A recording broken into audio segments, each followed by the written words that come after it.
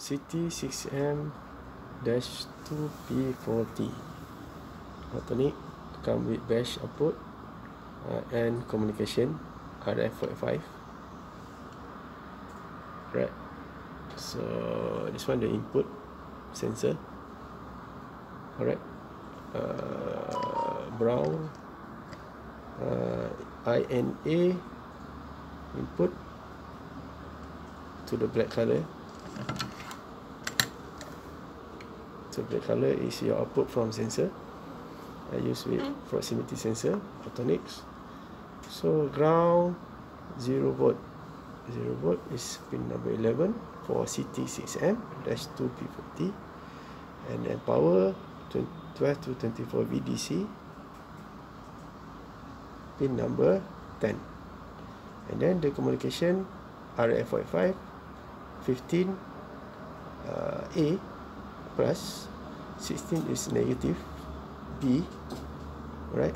So this one your output lah. Patch output and output 2 this one your output 1 uh, relay output contact relay output 2 and then this one power supply AC power supply 240 VAC so from this uh, RF45 A and B connected to our device converter SCM US48i RF45 converter to the USB and then to the software right? To the software our DAQ software. Alright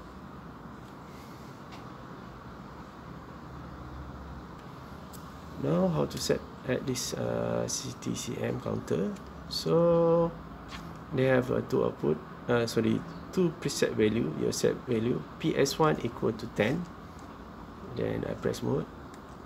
So your second preset value is 15 so this one uh, have a bash output. So I uh, set as a two bash output.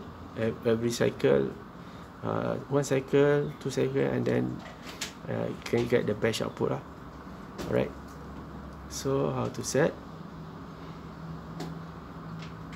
Uh, group parameter 1 sorry parameter A group 1 so one set as counting. Input type is up going up. The value up. So output C retain. Mean your output will retain. Last one at 15 at preset value 2 or bash sector 2 then counting per speed. Alright.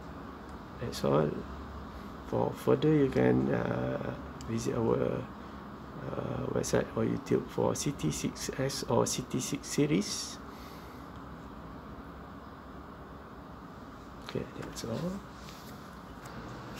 Okay, now at our DAQ master uh, I already put the connect uh, the bash present value preset value present value and then PS1 and PS2 your preset number 1 your set value preset your number 2 alright this one preset value for bash. Now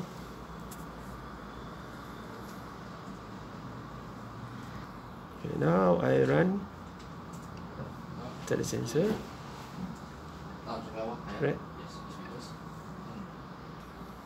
okay now they pop up here. You need to run first at this uh, you need to run this uh, as a run now okay? Okay now your preset bash count preset value is 2 uh, your bash output lah 2 and then the preset number 1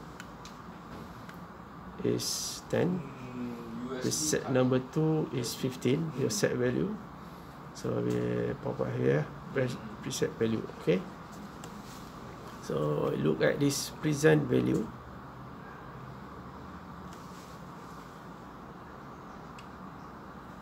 Three, four, five.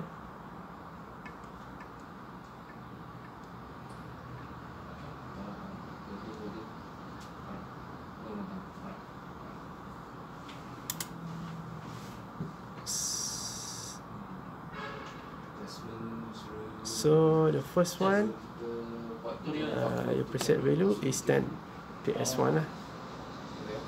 So present value is 10.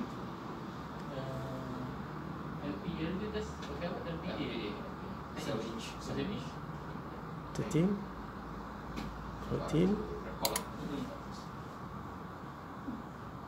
So then Oh dia direct ke? Pakai USB kan? Tapi dia tak boleh shoot direct kan?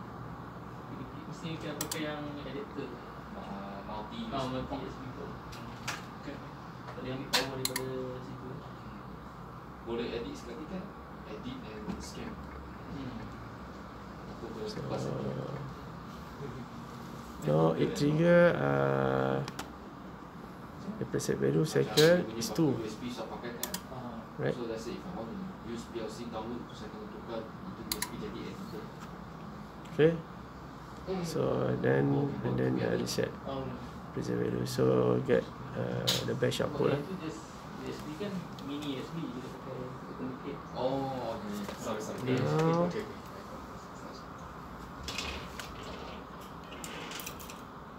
so batch out so batch output is trigger uh, so this one your PS2 15 counting. So PS1 at 10 alright. Thank you. For the you may dah follow the uh, chat in our YouTube how to install the Master, and then may refer to our website for CT 6M counting and the Master. thank you very much. Okay this one. Your uh, best count preset value. We set as 2 and then your PS1 uh, PS2 15 and then present value is 13 time. So this one by preset value. Present value uh, how many cycle I do. So I do 5 so it will pop up here. Yes best output still uh, still retain lah. The output thank you